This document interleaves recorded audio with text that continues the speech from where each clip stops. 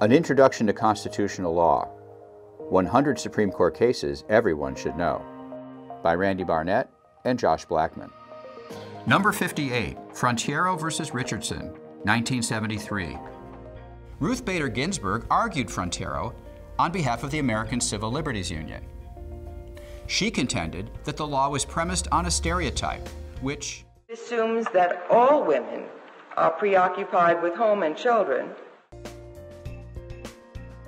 Such stereotypes help keep woman in her place, a place inferior to that occupied by men in our society. Therefore, Ginsburg urged the court to declare sex a suspect criterion. We hope you've enjoyed this preview. Visit conlaw.us to access our 12-hour video library. You can also instantly download our ebook, 100 Supreme Court Cases Everyone Should Know.